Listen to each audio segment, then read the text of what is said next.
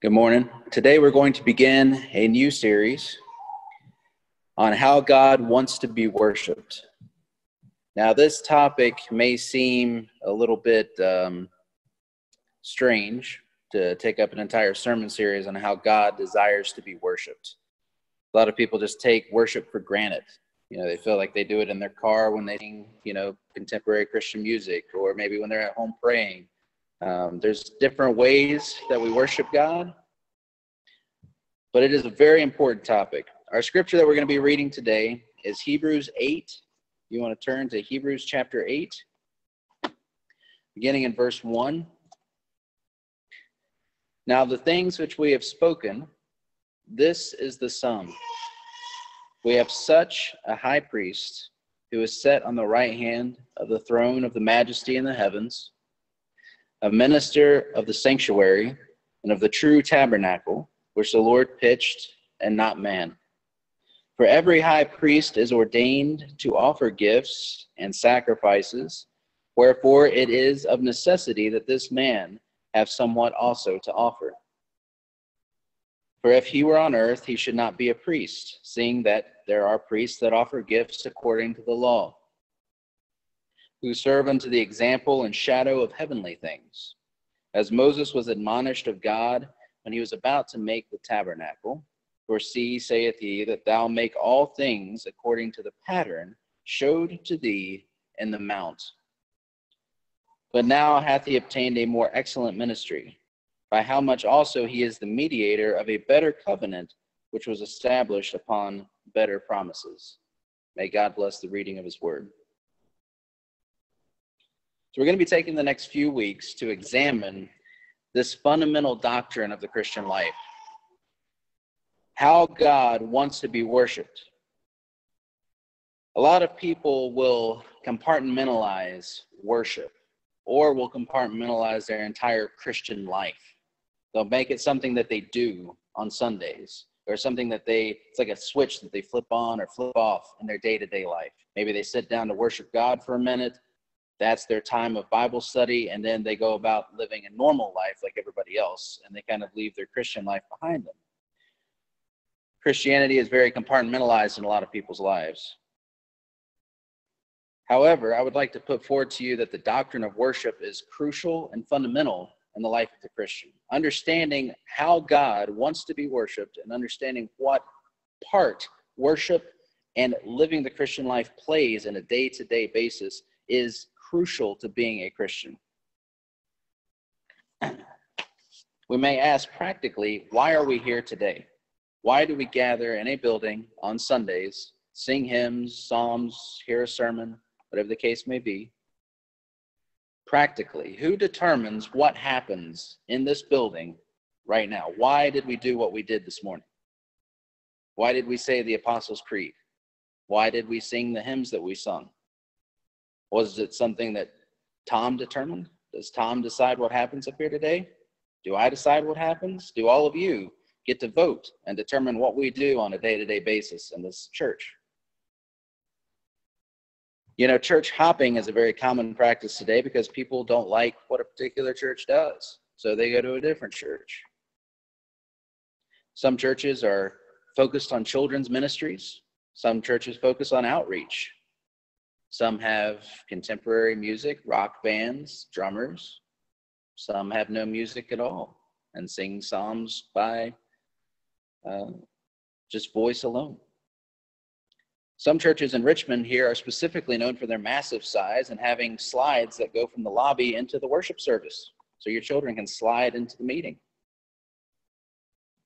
Some use fog machines, lights, make an amazing emotional experience for everybody involved. All of these things can make you feel very close to God.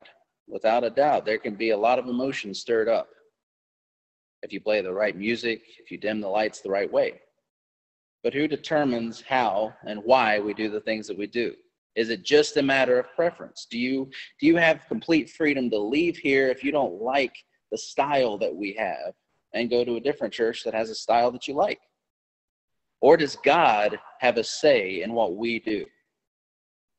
Well, I would like to pose that God is the only one who has a say in what we do at church and the way that we do it and why we do it. when we examine all these different means and expressions and requirements of worship, how do we know what is correct? There are only two sources of truth. When you come to look at what we decide here and what happens here, there's only two sources that we can look to. Either we look to God and the Word, the Word of God, and it, we let the Word of God tell us what we're to do here today, or we let man decide, whether it be the elders, the deacons, or a, a collective group effort. It's either man or God who determines how we worship. We, we can either look to ourselves, to our standards, our traditions. Traditions are huge in the Roman Catholic Church or in the Eastern Church. There's all sorts of prayers, blessings, benedictions. Or do we look at exclusively what God says? If you recall anything about what we studied over the past few months when I was preaching on Zoom, and we were looking at the condition of man's heart and how man is totally depraved and wicked and evil without God intervening in his life, I think you would be amiss to say that it should be man to determine what happens in worship.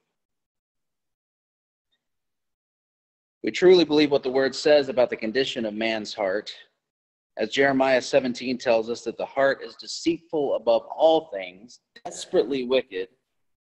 Who can know it? Do we want that heart to determine how we worship God? Do we trust our own heart? Even if something feels right, how do we know that the feeling is right? Our heart is deceitful, it means it lies to us. The only way that we can know truly what is right is by the Word of God, expressly set down. What does God say? Thus says the Lord. Don't don't you dare allow your heart to be the guide for your life. Because as soon as you do that, whether it be in worship or in anything else, the, the advice to follow your heart is bad advice. Because God tells us that our heart is full of wickedness and sin and envy, and all sin comes from the heart. Jesus actually said in Mark 7, he said, Are you so without understanding also? Do you not perceive that whatsoever thing from without enters into the man cannot defile him? It's not the things that are out here that defile us, because it entereth not into his heart. That which cometh out of the man, that defiles the man. For from within, out of the heart of men, proceed evil thoughts, adulteries, fornications, murders, thefts, covetousness, wickedness, deceit, lasciviousness, an evil eye, blasphemy, pride, foolishness. All these evil things come from within, and they defile the man. So we cannot allow our hearts, our minds, our worldly wisdom to determine how we worship God. We can see from the events going on in the world today that Men are lost without Christ. The scriptures tell us that it's those things that are inside our hearts that are the root of evil. When when the scriptures tell us how sin begins, it it all begins in the heart. It might be something that we see that starts it off, but it immediately the sin begins in our heart.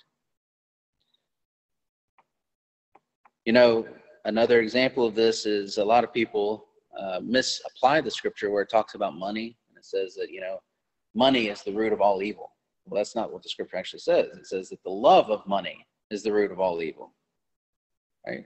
What's the difference there? Well money is an external thing that we all work really hard for so that we can eat and live. Whereas the love of money references what? References the heart.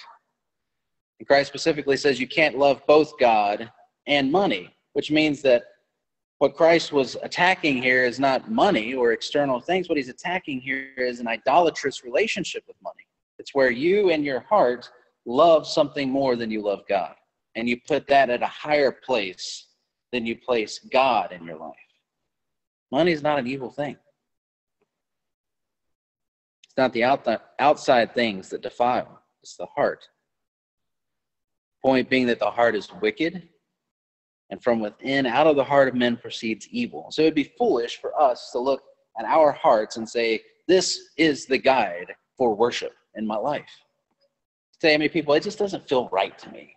You know, I don't, I don't know. It just doesn't feel right. You know, many times you say that to yourself. I don't know. I just didn't really, I didn't care for it. Well, why? I don't know. It just didn't feel right. Is that how we're to worship God? Based on our feelings, our emotions, our heart that's desperately wicked, deceiving us at every turn? The scripture from our reading this morning in Hebrews, it says that Moses was admonished of God. This is verse 5 in the passage we were reading this morning. Moses was admonished of God when he was about to make the tabernacle that he make all things according to the pattern showed thee in the mount. Moses was admonished when he was building the tabernacle and setting up the traditions of worship in Israel that he follow the pattern exactly as it was shown him on the mount. What does this mean? This means that God took Moses to the mount and showed him every little detail about how God wanted to be worshiped. God said, Here's exactly what I want you to do. Here's how I want you to build the building. Here's what it's to look like. Here's what you're to dress like. And here's how you worship me. Do it exactly like this. And he admonished Moses to do it exactly as the pattern was shown him. Not to deviate from it, not to add to it, not how Moses felt like God wanted to be worshiped. I mean, Moses knew God pretty well, probably better than we do. I mean, he was taken away and given the law of God. That's a relationship a lot of us probably don't have with the Lord. But it wasn't left to Moses to decide what the people were going to do for worship. It was left to God to admonish Moses to follow what he had been told by God, the pattern shown him on the mount. Moses was not free to do as he pleased. On the contrary, he was shown a pattern and told to follow it. And in verse 6, we're told, Now hath he obtained a more excellent ministry, by how much also he is the mediator of a better covenant. This is talking about Christ. So there's a direct correlation between the Old Testament tabernacle and the old way that we worship God and the new, more excellent ministry. But why would things change in how God wants to be worshiped? Meaning, why would we think that God expressly was going to set down how to be worshiped in the Old Testament and then just leave it up to our imagination in the New Testament? In chapter 21 of the Westminster Confession, it states The light of nature shows that there is a God who hath lordship and sovereignty over all, is good, doth good unto all, and is therefore to be feared, loved, praised, called upon, trusted, and served with all the heart, with all the soul, and with all the might. But the acceptable way of worshiping the true God is instituted by himself, and so limited by his own revealed will that he may not be worshipped according to the imaginations and the devices of men or the suggestions of Satan under any visible representation or in any other way not prescribed in the Holy Scriptures.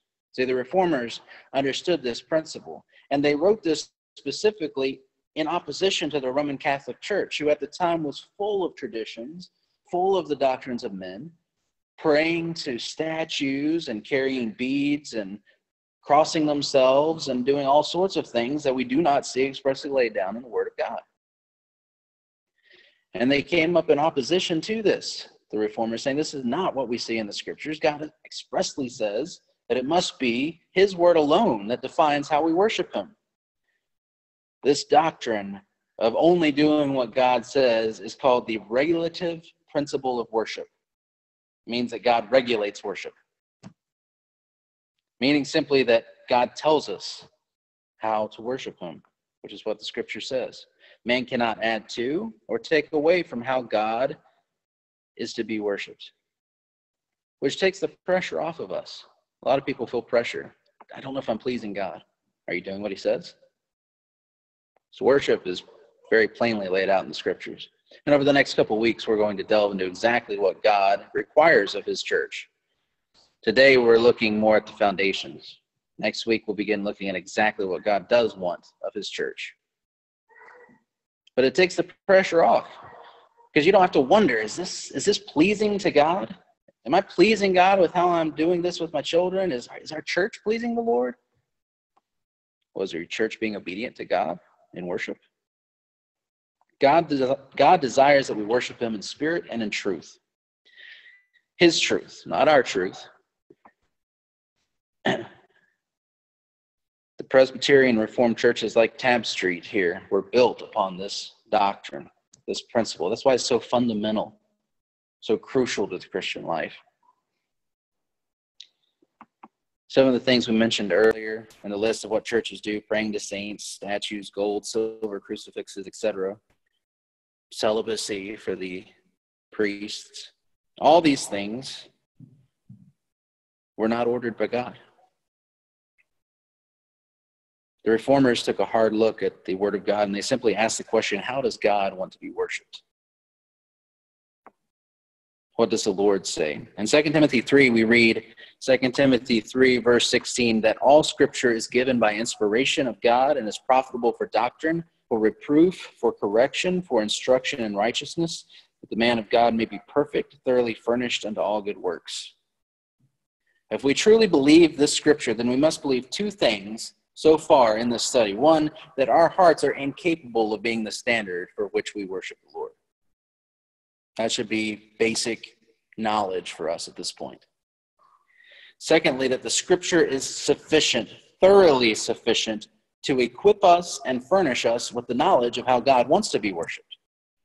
If the scriptures truly are able to furnish us and equip us, as Second Timothy says, then we must believe that the scripture is completely sufficient to tell us how God wants to be worshiped.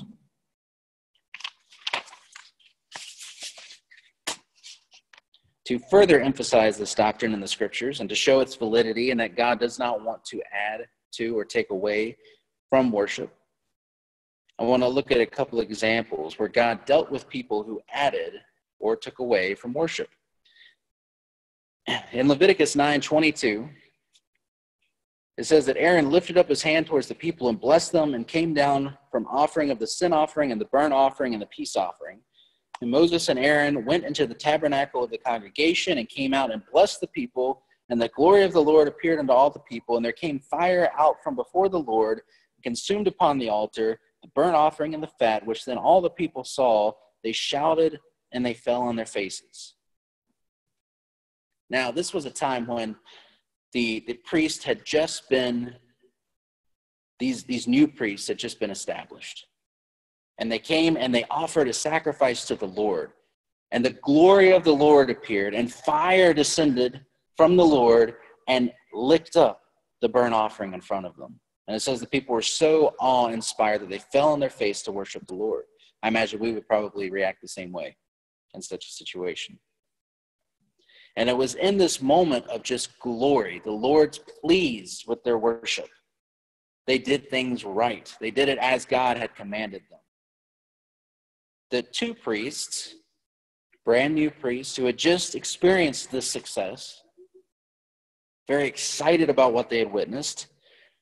In Leviticus 10, the next chapter, it says that Nadab, Abihu, the sons of Aaron, took either of them his censer and put fire therein put incense thereon, and offered strange fire before the Lord, which he commanded them not. Not that he commanded them not to, but he did not command them to do that. There was no express forbidding of them to do this. He just didn't tell them to do it.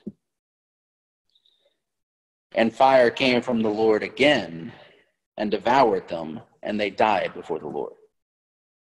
In this story, we see that though their success as priests had just been witnessed, that God was pleased with them, that they thought, What can we do to please the Lord? And I believe their intent was pure. It says that they went to the Lord to offer again to Him.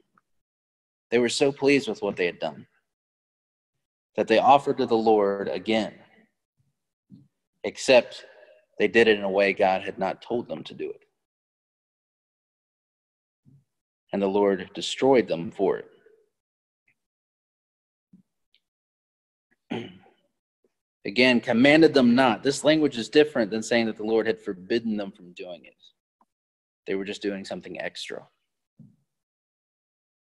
John Knox said about this particular passage, he said that in doing this, this uh, strange fire that Nadab offered to the Lord, in the doing of this act and sacrifice, they were consumed with fire, whereof it is plain that neither the preeminence of the person that makes or sets up any religion without the express commandment of God, nor yet the intent whereof he does the same is accepted before God. For nothing in his religion will God admit without his own word, but all that is added thereto does he abhor and punishes the inventors and doers thereof. These men were priests ordained by God to worship the Lord. Means that if your pastor stands up and says, we're going to do something very similar to what we've done before. It's just a little bit different to please the Lord. He doesn't have the authority to do that. A king cannot do that. A priest cannot do that. No one has the authority to add to what God has laid down in his word as to how he wants to be worshiped. Whether it be in this world or the world to come, God will hold accountable those who add to or take away from his word. And there may be some temporary, temporary success, or what we may judge as success in this world, when we disobey God. You can steal and have a lot of money. It doesn't mean that God's not going to judge you for it.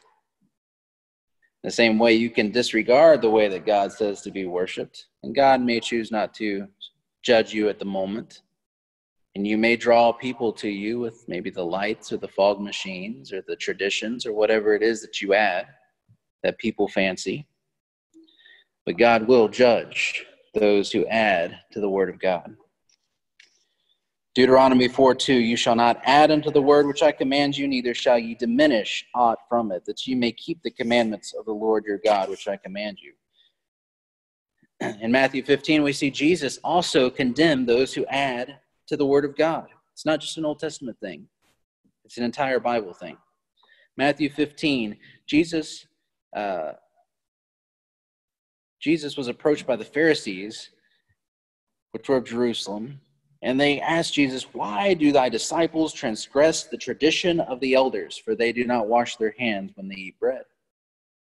Now, these Pharisees, these were the elders, these were the, the leaders, and oftentimes regarded as religious, eminent religious leaders of the day.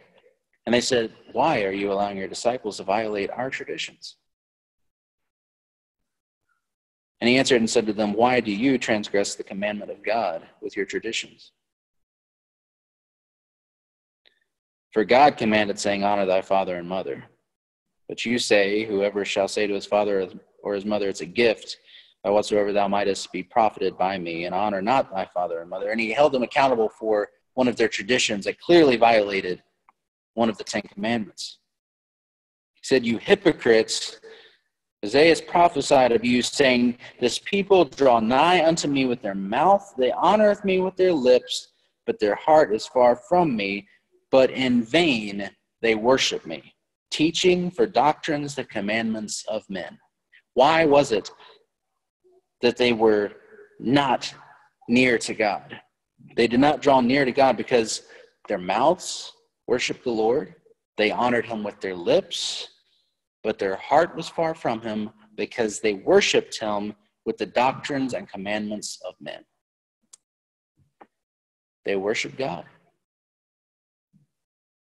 but by the traditions and commandments of men.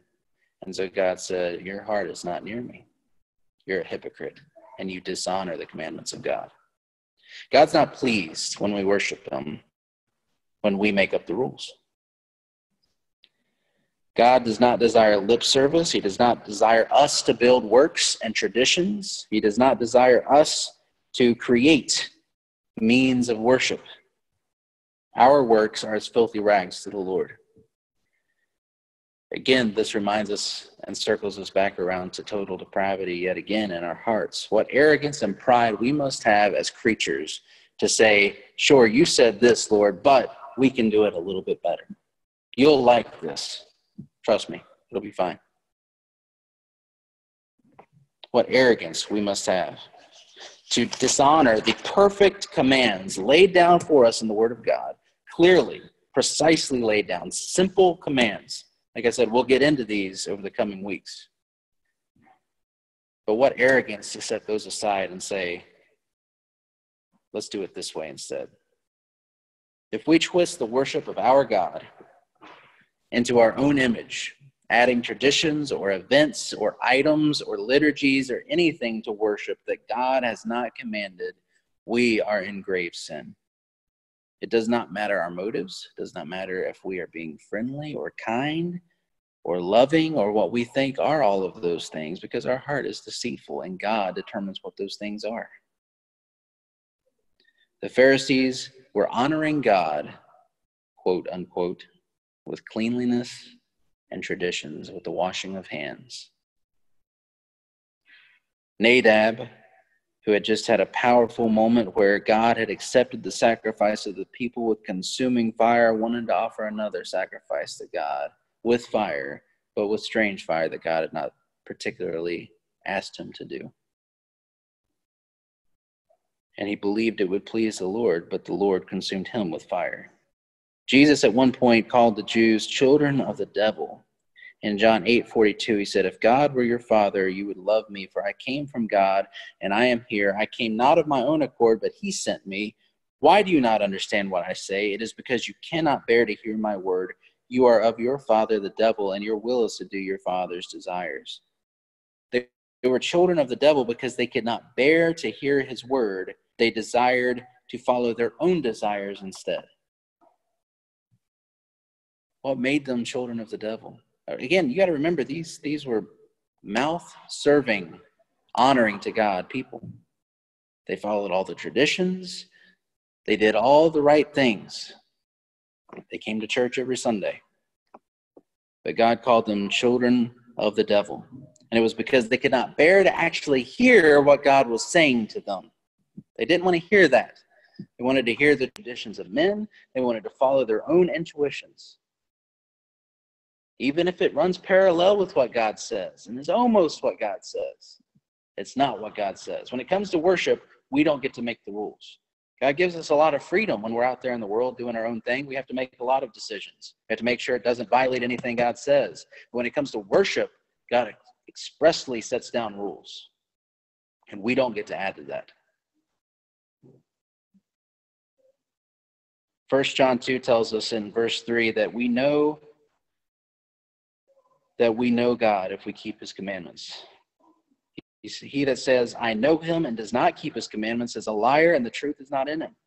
But whoso keeps his word, in him verily is the love of God perfected. And hereby we know that we are in him. He that say, says he abides in him ought himself also so to walk, even as he walked. This is important. Verse 7 he says, I write no new commandment to you, but an old commandment, which you've had from the beginning. The old commandment is the word which you have heard from the beginning. He says, This I'm not writing something new to you. He's writing to the church. He said, I'm not telling you something new. This is the old commandment, telling you to walk in what you've known. Walk in the truth laid down in the word of God. Your father understood it. His father understood it. It's right here. We've had it this whole time. It's not a new commandment. It's an old commandment. And if you walk in it, you know that you love God. If you say that you love God and don't obey what God says, you're a liar. The truth is not in you. Not only is it pride and arrogance that we think we can do better worship for God, or that we can expect to have more success because we come up with some sort of better worship service than what God has commanded. Not only is it arrogance, but it's also idolatry. It's idolatry because when we worship in a way God is not required, we're no longer worshiping the true God because he can only be worshiped in spirit and in truth. And when we invent modes of worship, it's no longer in spirit and in truth. It's our truth, not his truth. So it's a form of idolatry because we cannot worship God except the way that he prescribes.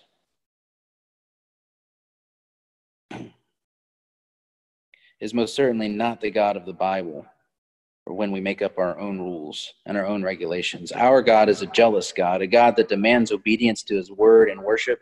He does not find pleasure in our inventions and additions, but he does desire us to worship him in truth. Our scripture from Hebrews that we've been reading over today, it tells us that every high priest is ordained to offer gifts and sacrifices, whereof it is of necessity that this man have somewhat also to offer. For if he were on earth, he should not be a priest, seeing that there are priests that offer gifts according to the law, who serve unto the example and shadow of heavenly things, as Moses was admonished of God. And he was about to make the tabernacle. For see, saith he, that thou make all things according to the pattern shown thee in the mount.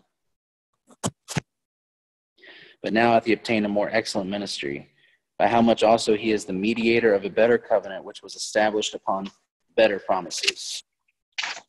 So, in conclusion, what is it that we can take away from this and apply to our lives? And next week, we're going to actually dig into specific examples of what God wants us to do. Today, we've been looking at the foundations, what it means to worship God. Can we add to or take away from it? So, takeaways from today first and foremost, we cannot trust our hearts to worship the Lord. Again, this should be basic. I keep repeating it because it is fundamental and it is missed. But we cannot trust our intellect and our hearts to invent modes of worship. We can't. Because our hearts, no matter whether or not we are regenerated, as Paul described that inner conflict between the old man and the new man, which he doesn't want to do, he does, so on and so forth, right? That conflict that we have every day when we wake up and we have to fight those sins that so easily ensnare us. That same heart is the heart that would invent those modes of worship. Even if something feels right or feels wrong, what does God say? Because often God asks the unpleasant things of us. Right? When Christ says, pick up your cross daily and follow me, it's not a pleasant experience necessarily. There's often a lot of persecution, there's a lot of conflict. Christ talked about dividing families, fathers and mothers and children and sisters and brothers. Right? The truth can cause a lot of division. When we do the right thing, there's oftentimes consequences. It's not always butterflies and flowers and love and joy. Sometimes it's turmoil. Sometimes it's prison, as we can see from the apostles. When we do the right thing, sometimes it can be the difficult thing, but we cannot trust our hearts. We must follow after the truth of the Word of God, even if it's a difficult thing. and secondly, we must keep in mind that God has expressly laid down how He is to be worshiped. The difficult thing or the right thing or whatever it might be, whether it's fun or not, the truth of worship is in this book, the Word of God. And it is perfect and it is able to thoroughly equip us to every good work. We just have to have faith and trust and do the right thing. Next week, again, we'll delve into more details of how God wants to be worshiped and what the church is expected to do. Right now, I believe we have to uh, let's